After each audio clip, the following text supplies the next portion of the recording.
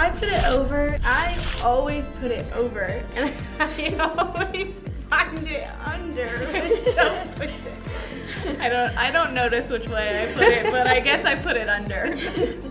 I put the toilet paper over.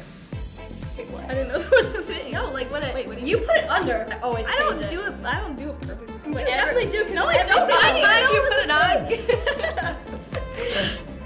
It on. Over. goes over, but I think it's easier Like goes under. No, That way you, you pull, pull it it from faster. under. I've It's switched, I've switched our, bottom toilet, I've switched our toilet paper rolls before because it bothers me. Okay, well I put it under.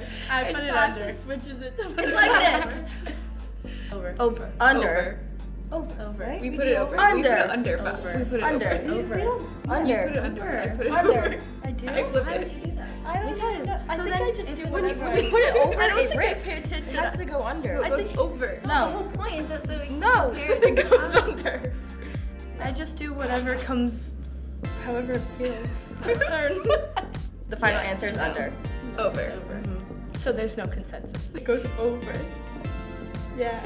Like No, but I think I pull it under. Don't you just like put it on? It doesn't matter. Over. Definitely toilet paper over. So we live together and we share a bathroom.